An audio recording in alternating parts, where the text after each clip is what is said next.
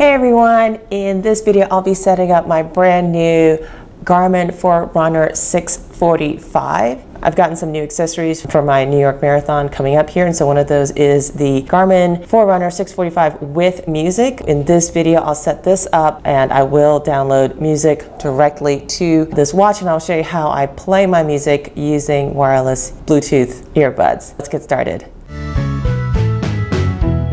is not a paid endorsement. I did purchase this with my own money. I have been using Garmin watches for years now. This is the box to the Forerunner 645 Music Watch, and I've already unboxed it, but I'll just show you what's in the box. So this is the watch that's in the box. I'll do a full setup here. Uh, this is the uh, charging cable and sync cable. You just have to make sure it connects with the contacts right here. And this is how you charge the watch with a USB charger and this is how you sync it onto your computer is with this cable here. That comes in the box and then a series of manuals come in the box as well. So this is the English one. I believe this is Spanish and French right here and this is important safety information so I did use the quick start manual to set this up. As part of the setup uh, you do need your smartphone and you will need a computer to finish the setup here. And I will be pairing with my Bluetooth headphones as well because this is the music watch. So I will be loading my music onto this watch and uh, pairing it with my phone. Uh, charged it up completely. I'm going to start the Garmin app which is the Connect app on my smartphone here and um, and I'm going to add a new uh, Garmin device here. Now in order to do that here, I need to hit start right here and it's going to go to run and I'm going to hold down the the button in the middle right here and it's going to go into uh, training, navigation, history, settings. I'm going to hit settings here and I'm going to go down to sensors and accessories. No, pair phone. I'm going to pair phone right now.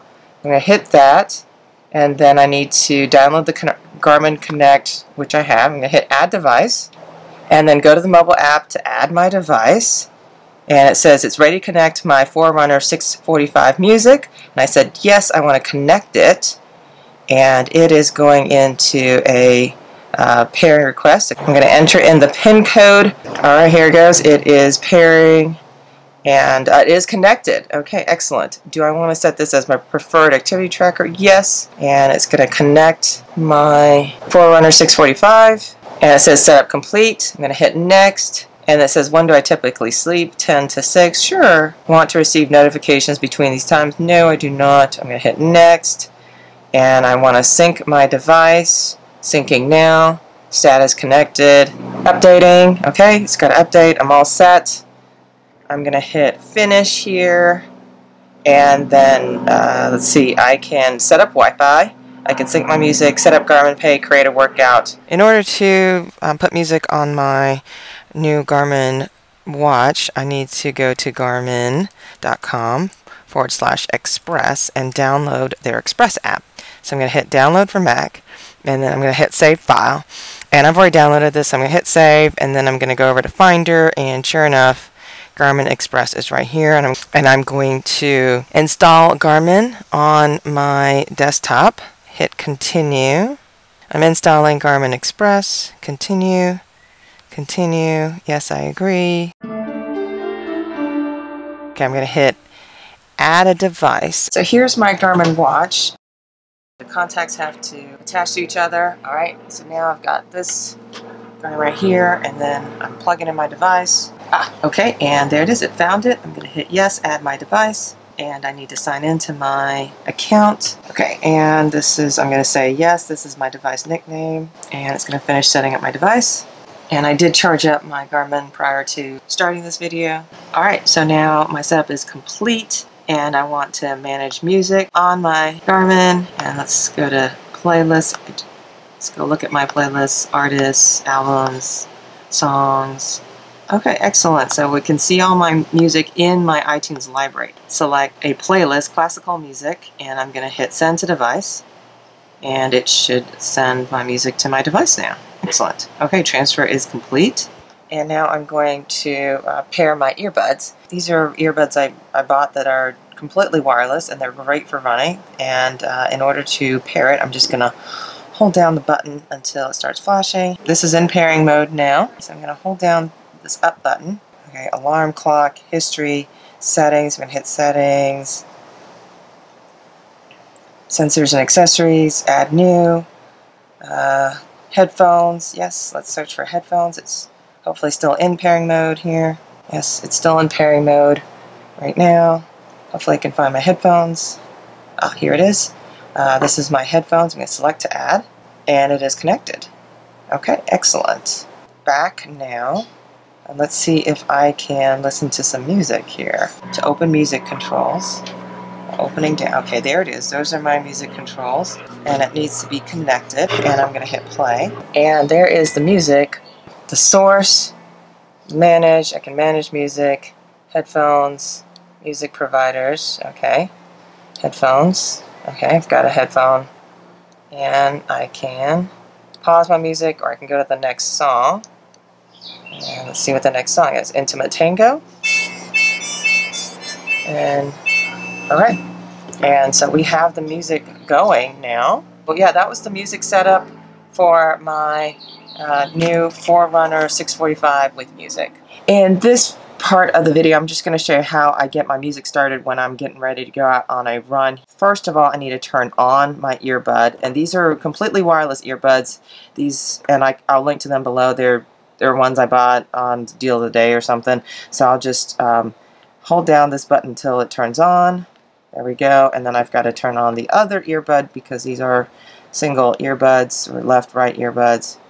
Turn on both earbuds. Then I'm going to uh, hold down this middle button here and then it goes into different options that I have. So I'm going to go into settings, activities, I'm going to go into sensors and accessories and then I'm going to keep on going down until I get to my earbuds. These are the earbuds I own. I'm going to hit connect and I'm going to connect to them and they are connected now. Excellent. And then I'm going to back out of that and I'm going to go in, I'm going to hold down this bottom button here on the left hand side and uh, let's see so it's it's already on a song that I was playing previously going to go into my music. And this is the music I just loaded on. Forces my music now playing my running list play all songs playlist artists albums songs uh, podcast audiobooks. So you can listen to a podcast and audiobook while you're listening to this. And then all you have to do, you can adjust the volume on this and you can just hit play, can go to the next song or the next song. So that's pretty cool. So while you're running, you can actually adjust the song that you're playing. So let's say I want to go to the next song, and let's see what the next song is. It's Footloose. Okay, excellent. And it is it is playing right now. I'm to back out of that. So now I'm going to hit this run button over here, start stop button, and now I can start my run. I just finished my first run on my Forerunner 645 music watch. Just to show you how to get it started, you press the start stop button and it defaults to run and then it starts looking for satellites. So the GPS is red now when it turns green. That means that the satellites are found and in the meantime it's looking for my foot pod and my heart rate so it does have a heart rate monitor on the back right here. So if I was wearing the watch, you'd be able to get my heart rate here. And we're just going to wait for a second. The GPS will turn green and then it will it'll know where I am. There it goes. GPS is ready. And then it goes and it says footpod is connected and it is ready to go now. So if I hit start again, it will actually start the run. And you can say I'm on a treadmill, indoor track, bike, or heart rate stress, I think is the other choice here. Hold down this middle button right here. And when I hold it down, uh, you've got some more choices. So I can update the watch face. I can use this as an alarm clock. I can go into history, and that's what I want to show you right now, to show you my run activities. And I just finished an activity today, and I'm going to click on it, and I can get details. It was at 8 o'clock this morning. My distance, my time, my pace, my calories.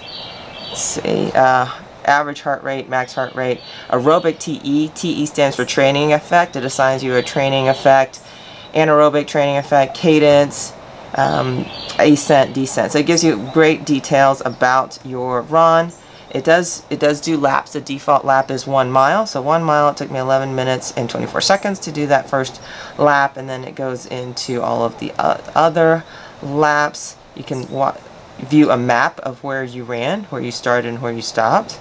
uh, training effect, that's, that's TE, lactate threshold, highly improving. I'm maintaining my anaerobic fitness. Uh, so it's telling me how it thinks I did. I'm going to back out of that. Time in zone. So it tells me how much time I spent in each heart rate zone. Uh, elevation plot, let's see, so 66 feet up over my 3.2 files, and then I can delete it. No, I do not wish to delete this. Uh, so that's that's the first activity I've done. Records, totals, it'll tell you, you know, the total number of miles that you've run on this watch. I've done one activity for three miles on this watch. And it's been mm-hmm. running. And so you can do cycling, and you've got a lot of different options, and you can reset it at any point in time.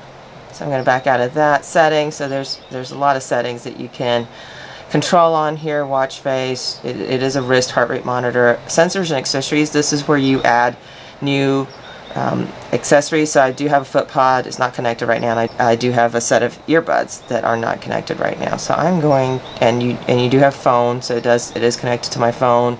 I do get smart notifications and a, and uh, on my phone. So I've already done that. And I do have Wi-Fi. I do have audio prompts on, so every time I finish a mile or a lap, it does say how long it took me to finish that lap. And I do have my profile, activity tracking, maps, everything, system, about. So a lot of settings on here. Uh, so I just wanted to give you a quick review of what it looks like after you finish a run.